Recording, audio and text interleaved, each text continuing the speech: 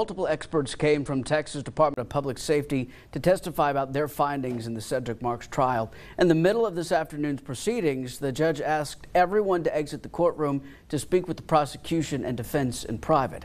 Fox 44's Earl Stoudemire joins us now live outside the Bell County Justice Center to explain why this happened. Earl. Adam, everyone in the courtroom, including media, was asked to leave for nearly 40 minutes. Once we all came back into the courtroom, Judge Steve Duskie said it was because he had to handle a situation with a jury member. Judge Duskie said that he had to excuse one of the jury members this afternoon and that he wanted to keep jury matters private. We'll have to wait and see if this jury member will come back on Monday. However, Judge Duskie emphasized to the jury today to not look up any information about this trial online and to not speak to anyone about it it.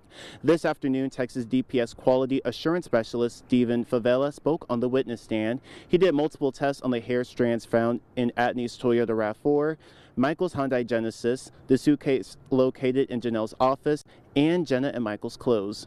Favela testified finding a few possible hair, hair strands from Jenna and Michael in the RAV4 trunk and in the suitcase found in Janelle's office.